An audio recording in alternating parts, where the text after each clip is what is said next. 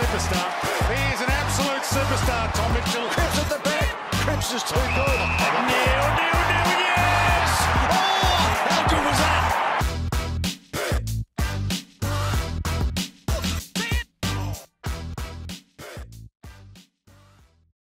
G'day guys, um, welcome to a Ball Magnets podcast. Um, it's my absolute pleasure to introduce Adam Saad. Um, we call him brother. Uh, he's a good man. He's um, he's got a lot of experience. Um, you know, we love him at the, the club. He's got a lot of knowledge that we're going to tap into today and tell his story a bit. So we'll get into it, Sardi. Um, thanks for coming on, brother. Thanks Um, for having me, bro. Appreciate it. No, it's uh, it's a big effort to get you here. Um, now we're going to talk about first before we're going to talk about a lot of things today, but first one I want to tap into is um, you know a lot of sort of young athletes sort of aspire to play AFL. Um, you know their whole goal um, in either AFL or AFLW to get drafted at 18. Um, that didn't happen for you. You were a mature age. You got um, missed out on a couple of drafts. Was it Yep. one or two drafts? Yeah, three, Three national and two rookies. Yeah. Yeah, so Yep. three, so five drafts all up. Yep. Over the space of three years, um, played VFL, kept working on it. Um, was lucky enough to get picked up at the start of the Gold Coast, then got to Essendon, now to the Baggers. The beggars. Um, maybe just sort of touch on you know the challenges you face, but also um, you know your journey to get to on an AFL list. Yep. So obviously, as as we grow up, you know, you're a six, seven year old living in the northern suburbs, and mate, my dream was to play AFL footy. Um, I looked up to my dad and my uncles. That's all they did, and they were pretty good at what they did as well. So um, coming through the ranks, made TAC Cup under 18s. Um, I had an okay year. Went to the draft combine. Spoke to a few clubs there, and then yeah, obviously didn't eventuate. So I'm 18 years old. Didn't get drafted on the the rookie draft or the national draft. So um, just thinking to myself, sort of, what's next? Um, you know, I feel like a lot of kids, especially sort of maybe in my community, maybe miss out on that first year or maybe even that second year, and they just sort of give it away. But um, we understand as Muslims that everything happens for a reason, and God has a plan for us. And um, God always gave me that belief that one day it'll become reality. And um, missing tw- uh, missing 2012 and then hurting my meniscus, so that that following year I just got dropped a few times. I played it was development league back then. Yeah. Played half the games in seniors and half the games in development league. And So, so you got dropped from VFL. yeah, dropped VFL. So I was I wasn't in the senior team sort of, or for half the year I wasn't. Um, and you know, there were there were some you know dark days during that time, but um, at the same time, you know those experiences and those things that you go through, you, you learn from those, and, and Yeah. you better yourself as a player and as a person. And um, in 2014, Peter German came to Coburg, new coach. Yeah. Um, no affiliation with Richmond, so it was just a standalone, and um, I went from you know fourth pocket, like outside mid to a halfback flanker Taking hangers. trying to get off at Coburg City Oval, but um, no, we just changed my spot to halfback to, to play to my strengths, running carry, break the lines, um, use my foot skills and and use my speed. So at the end of that year, I got lucky enough to uh, to get drafted to, to Gold Coast, and um, it's been a journey since my, I'm entering my ninth year. Played over 150 games. Yeah. Um, I'm just very privileged and honoured to, to be on an AFL list. I'm so grateful and um, to be at, at Carlton now, it's a, it's a really exciting phase. Um, a lot of hard work ahead, but I feel like this next few years we can, you know, do something special.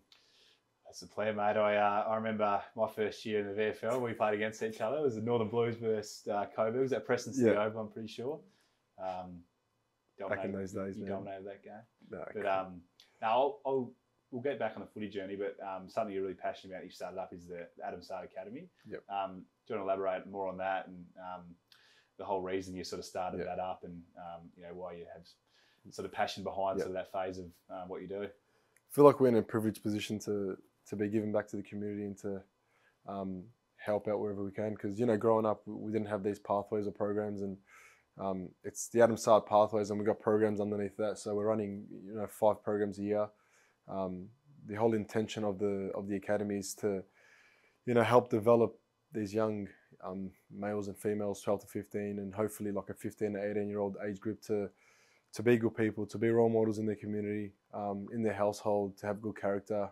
Um, firstly, it's been that it's having that good character and being a good person, and then developing into athletes and footy players as well. So, um, you know, you might not change everyone's life, but if we can make a difference in one or two or ten or twenty, but um, I feel like it, it's really growing. Um, having the right intention, having the right staff around you, Yeah.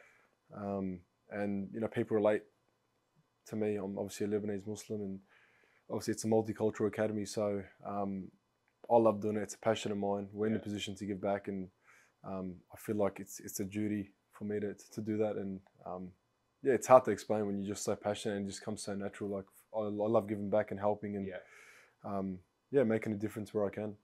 And with um, so you sort of that's the fifteen to eighteen year old sort of the the age group you sort of you're targeting. Is that Yeah. yeah So we're, it's 12 to 15 year old now, and hopefully in the next couple of years we'll do a 15 to 18. yeah awesome We just got to build the foundations on the other programs, um, and it's, it's a six week program. We um we do footy element, and then we do a, a leadership element. So Yeah. goal setting, team values, um, cultural awareness, nutrition. Yeah. So it's, it's a bit of both. It's not just you know going out there and, and training. It's it's more education and and the footy part as well. So. Um, we've been doing it for two. It's the third year at the club, and Yeah. it's really developing. We've, we've got a couple of big sponsors on board now, so yeah. And how many um with it? So how much of, of like your week does that take up? Like um, there's a lot of like a lot of logistics and stuff behind the scenes. Um, Hamza Hamza Ali is the program manager. Um, we're just on the phone almost every day, just you know organizing things, whether it be uniform or equipment, or you know writing the schedule for the six week program, and then going on to you know, the Ramadan dinner and then the high performance camp. There's there's so much that goes into it behind the scenes. Um, it's once a week for six weeks for the academy. There's then there's the Ramadan dinner for one night, and Yeah. then we got the high performance camp which goes for three days, Yeah. and then um, yeah the um, the schools cup which goes for a day. Um, and uh, as we said, as I said before, I just love doing it. So yeah time is is you know time is crucial and time is money, but um, I feel like we're doing it for, for the right reasons and the right intentions, and um, but there is a lot of hard work, and I'll give a shout out to Hamza who's who's been awesome, who's Yeah. elevated these these programs, and um, hopefully we just keep getting better and better. yeah. I think um the position we're in, like it's like you said, like we get so much. Yeah. We have so many good people around us. So many good experiences. Um, Yeah. You know, like you said, nutrition, high performance, uh, weights. This is even that age group from 12 to 18. Like it's such an important age um, of your life, and you want to have fun um, doing everything you do. Yeah. But um, I think we're in a position we can share as much sort of Yeah. knowledge that we've learned along the way and pass it on to sort of the next sort of, I suppose, not generation, but next crew coming through. It's so important, and um, like you said, if you you're doing things for, for others, it gives you so much joy when you do it. Um, probably elaborate more on footy now, mate. Like um, what I last year, all Australian halfback. Uh, it was a great night. Thanks, it's a huge achievement. I knew you were super pumped to to, Yeah. to get that. Um, mate, like the things that stand out for me with you is, um, you know, quick, pound for pound champ for the club. You know, elaborate. We'll elaborate on that soon. Um, your kicking skills, um, and the other one is, um, you know, you bounce every two meters. Um, you probably uh, lap the whole competition of bounces in total. Um, we'll start with sort of your kicking. Like, um, I feel like the stuff you do with the ball, um, your ball control, um, the stuff you do when it's on the ground level, um, not many people can do. Like, does that a lot of that stuff come naturally, or is it something you've sort of worked on, um, you know, as you progress through your career? Um, I think I think it's sort of a, a natural ability. At the same time, I've I've do my craft and I've put in a lot of practice and a lot of time and effort into it. But um, with my kicking, I always felt like I've had a good kick, and it's not up until two years ago where I've really you know hooked around my body and hitting those short forty fives. And um, yeah, it takes a lot of practice and takes. You know, sometimes I'm out on the field and saying, "Why the hell am I going to kick it there?" But Yeah, because I practice so much and it just comes, it's an instinct for me. It sort of just comes off. But um, I really pride myself on being clean with the footy, yeah, ground level, handballing, kicking, marking. Um, and so I practice a fair bit of stuff at the club, just taking one handers and um, it's all these little things and, and even just taking the ground ball at speed. yeah, Um, all these little one percenters that makes a big difference, I feel. Yeah. Um, And if you if you're clean with the footy, mate, you're just efficient and you're helping the team, you know, on offense. And um, yeah, I feel like I'm efficient when I get the ball. Oh, mate, I reckon you got the best kick in the comp. So, um, yeah, kick it now, I'll give it back to you, mate. You know how that works. Look after each other. But um, Always, yeah. no, you do a great job. Um, we always have a laugh about how much you bounce. Uh, sometimes you'll sort of walk out of the the uh, the, the, the kick in square and you take a bounce before you even take two steps. Um, I know you you like it because it feels like it um, gives you composure. Yeah. Um, yeah, sort of elaborate sort of more on that for, Yeah. everyone. No, I've been asked so many times why I bounce it so much. It, it just comes so naturally. Like I walk out and, like you mentioned, it's a composure thing for me. Um, take two steps, bounce, look up, see the field. um, and then try hit a target. But sometimes I don't realize I'm bouncing that much. Yeah. But um, yeah, it's I've been doing it since I was a young kid, and um, it's a skill that I've I've tried perfecting over the years. Um, and yeah, it's that composure. Like get the ball, take what a second or two seconds to, to look up and try hit a target. Yeah. But um, there's nothing much more with it. Like I, I love to run and carry and bring excitement to, to the fans and the supporters. But Yeah. um, I'm a changed player to when I first started. When I first started, I was just like, trying to take anyone on and running, you know, a quarter of the field with the ball. But I feel like I've matured a fair bit since then. So um, yeah, it's just that composure side. That's why I do it so much. Yeah.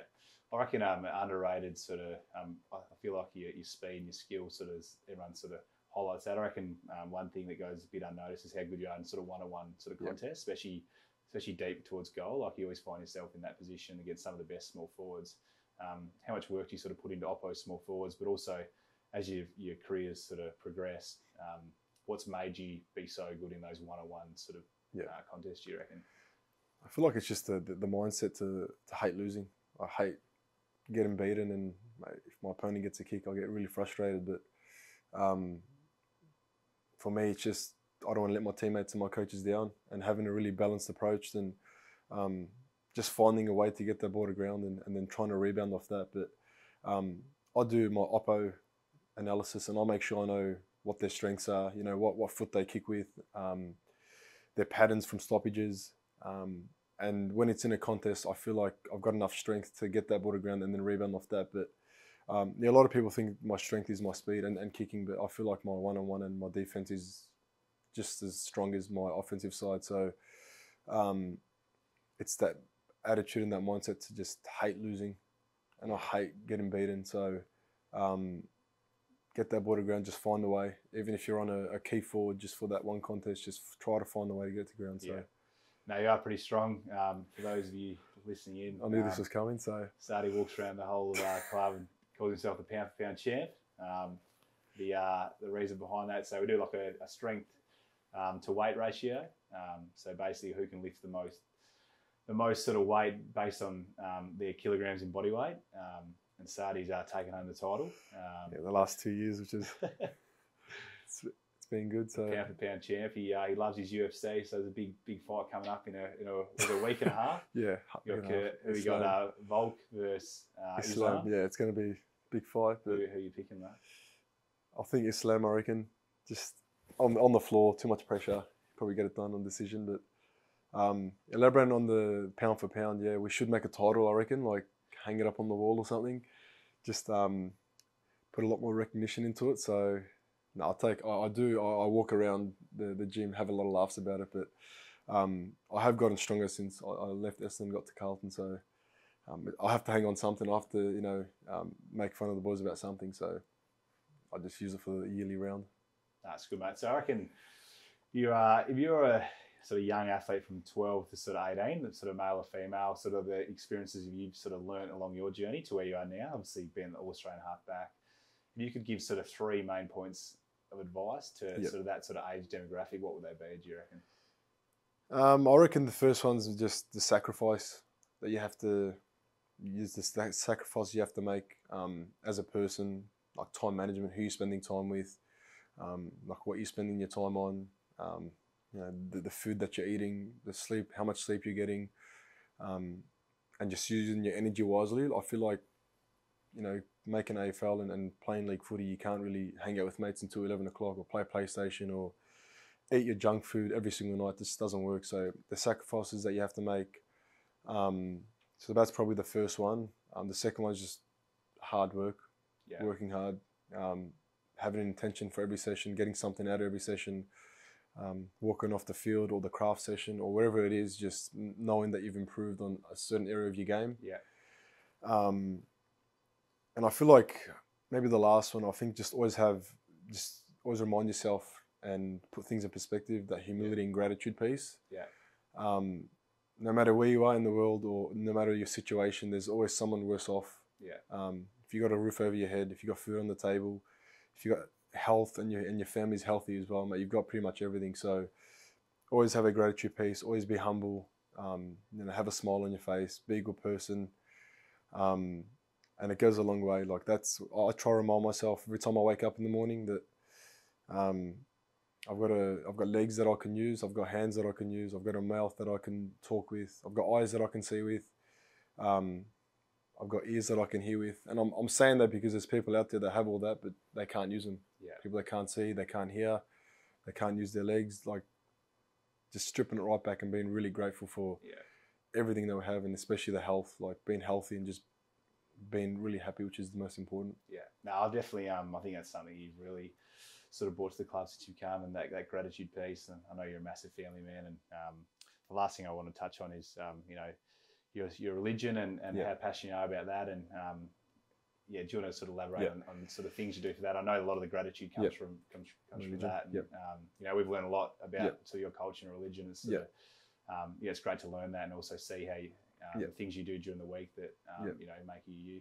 It's um my religion's a it's a way of life. It's not sort of just don't pick and choose. But obviously we're not perfect. But um, you know, as Muslims we pray five times a day. Um, obviously I pray the, the the morning prayer and the last prayer at at the mosque in congregation, and we get there's a lot of reward in that. Um, you know, we've got five pillars of Islam. We got we we got fasting in Ramadan, which I've touched on. Yeah. um, yeah, it's it's sort of hard to explain when something means so much to you, and in orders of priority, like that's number one. Um, my family's a close, really close second. Um, obviously, footy third, but um, it teaches me all sorts of you know having good character and how to live your life as a person, and um, just to never lose hope. Yeah.